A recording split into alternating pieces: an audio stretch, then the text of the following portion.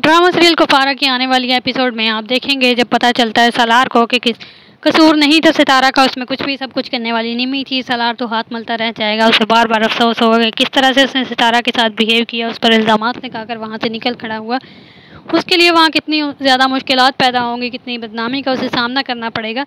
लेकिन सलार को सब कुछ इतनी आसानी से नहीं पता चलता है। सितारा जब आइसक्रीम खाने जाती है, अपने दोस्त के साथ वहाँ उसे मिल जाता है। सलार सलार कहता है, तुम्हें ज़रा भी शर्म नहीं आती है ना? तुम यहाँ पर आइसक्रीम खा रही हो।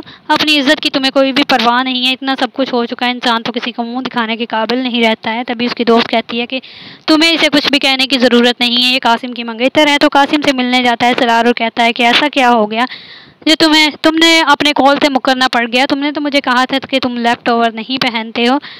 तो वो कहता है, तुम्हारा इससे कोई तल्लुक नहीं है। उस दिन जो कुछ भी हुआ, सितारा ने कुछ भी नहीं किया था। सारा किया दरा निम्मी का था और तुम्हारा सितारा से अब कोई तल्लुक नहीं है। वो मुझसे मंगनी कर चुकी है। मिलते हैं एक नई वीडियो में।